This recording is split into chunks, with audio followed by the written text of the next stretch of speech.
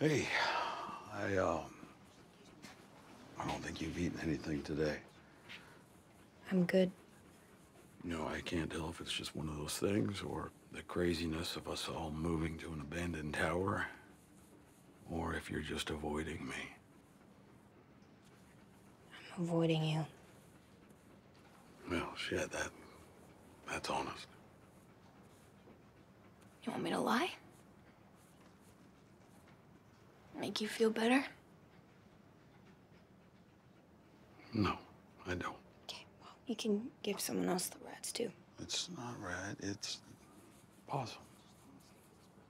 I mean, yeah, basically a big rat. Look, I, um, I just wanted to say that I liked her.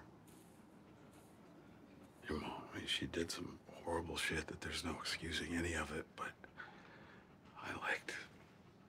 I liked a lot of things about her, and I wish to God I didn't have to do what I did. But if there is something that you want to say to me, then you should say it. Most of us wish you had died too.